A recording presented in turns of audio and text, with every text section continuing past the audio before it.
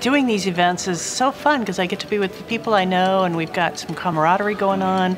It brings people together. There's music, there's a chance to talk, get to know each other while you're doing something for a much greater purpose. Just to be a small part of that is fantastic. It's easy work. It's not like it's hard, and it's just, uh, you know, it's really rewarding.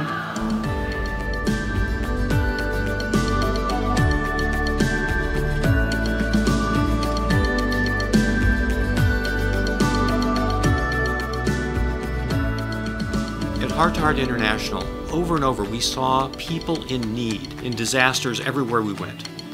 We saw a need for hygiene kits, so we developed the PowrServ program as a way to engage organizations and ultimately complement the original Heart to Heart mission. There is no more important time than after a disaster to reach out and hand somebody something that will help them in that point.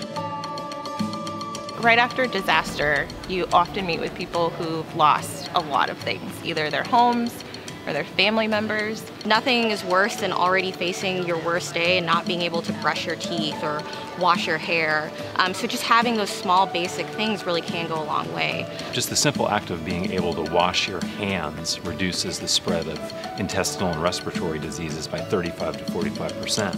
If it prevents people from getting sick in the situations that they're enduring, that's really important. This is what life is about. Life is about relationship with other people and helping other people along the way. And so when we do things like that, that's just part of what we're supposed to be doing. But I think the most important value is being able to physically hand somebody something and look them in the eye and tell them you're not forgotten.